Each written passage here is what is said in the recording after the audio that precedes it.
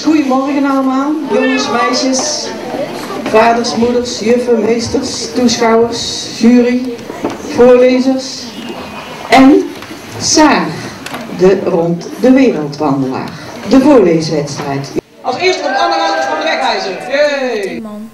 In zijn ene hand heeft hij een geweer. In zijn andere hand bungelt het brilletje van Jonas. Jonas verstijft van schrik. Rosa springt overeind. De man zwijgt en kijkt de kinderen vragend aan. Hij heeft zware wenkbrauwen die zijn gezicht een vervaarlijke uitdrukking geven. Zijn gezicht is ongeschoren, hij heeft een oude strooitop en zijn kleren zijn vele malen hersteld. Automatisch open. Tweede, Lien Verschuren. Snel, dit is een spoedgeval. Mijn zoon is ziek, riep Antonia. Rustig maar, mevrouw. Komen jullie maar mee. Ze liep voor hen uit naar een klein kamertje met in het midden een kaal bed. Op de grond lag blauw zeil en het stonk naar ziekenhuis. Tom moest op het bed gaan zitten. Wat heb je precies? vroeg de zuster. Tom, wat wil je drinken? En Noah Mutsers van de Sint Zo dichtbij. Wat moet ze nu doen? Ganja, ze grijpt in haar tasje. Verdomme, ik ben mijn bonnen kwijt. Dille springt van haar kruk. Ik ga even naar de wc. Ze lacht naar Nina en glipt naar de dansvloer. Dus Ganja? vraagt Tim. Ja, nee, Sinas, als ze Sisi hebben. Anders spa. Wel echte spa. Niet van die andere, daar zit zo weinig prik in. Dat vind ik niet zo lekker. Doe maar cola. Cola? van de Sint-Antonius. Om de hoek. Hij was dol op motoren. Een benzinemotor is zijn reinste tovenarij, zei hij eens tegen me. Denk je toch eens in. Je neemt duizend verschillende stukjes metaal. Je zet ze op een bepaalde manier in elkaar. En als je ze dan een beetje olie en benzine geeft, beginnen al die stukjes metaal plotseling te leven en zoomen en grommen en loeien en laten de wielen van de auto met de meest fantastische snelheden ronddraaien.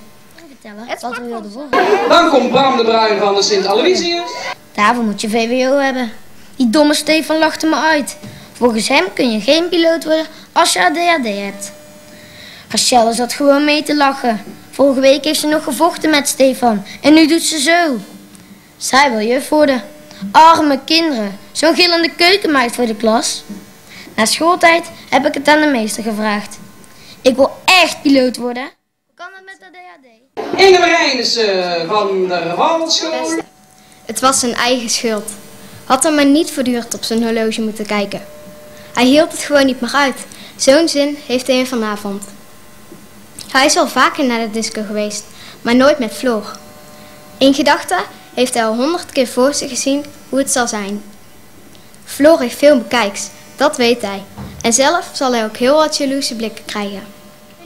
Want hier komt Race. Lotte, verwijmeren van de Sint-Anna school. Eens even goed kijken. Wie zou hij schaduwen? Er was niemand op straat. Hé, hey, kwam daar een bus aan? Ja, een bus. Geweldig. Zeker weten dat er bij iemand bij die halte uitstapte. Die zou hij volgen tot aan zijn huis. De bus stopte inderdaad wat verderop in de straat. En Michiel zag een paar mensen uitstappen. Eentje kwam zijn richting op, als een rat in een val. Dit was zijn eerste slachtoffer. Je kan het nog even nog één keer laten horen. Wie?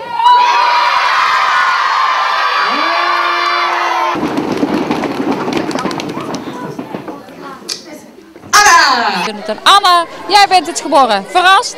Ja, ik vond het heel leuk.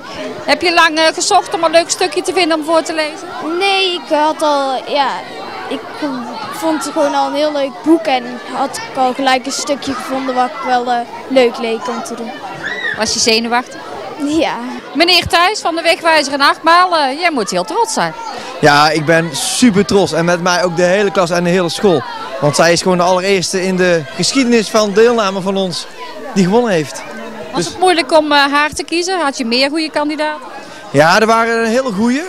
Um, we hebben twee voor ons gehouden in de klas en zij was toch wel twee keer de beste eigenlijk wel hoor.